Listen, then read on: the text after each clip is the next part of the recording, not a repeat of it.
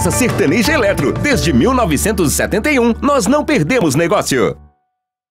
Os bombeiros, gente, juntamente com uma equipe da Defesa Civil, controlaram e extinguiram um foco de incêndio na Serra de São Domingos. Foi hoje de manhã, hein? Eu já começo a ficar preocupado Ano passado nós cobrimos um caso na Serra de São Domingos e foi muito triste né, ver né, várias partes da serra sendo devastada pelo fogo. É claro que depois a natureza devolve, mas a gente tem um amor tão grande pela Serra de São Domingos que a gente não quer que isso se repita, não é isso? De acordo com o Corpo de Bombeiros, parte da trilha do Cristo e as encostas estavam tomadas pelas chamas.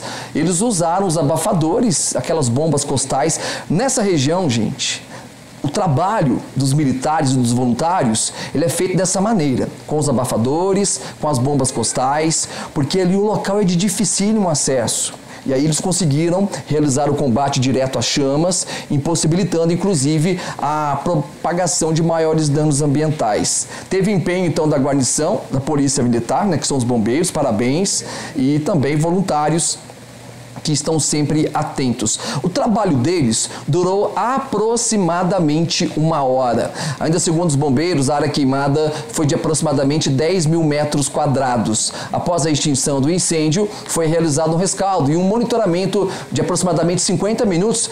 Sabe para quê? Né? Para não haver aquele risco do, do fogo retornar. Que bom que eles conseguiram controlar. Parabéns aos militares, parabéns aos voluntários também, que estão sempre dando uma atenção especial.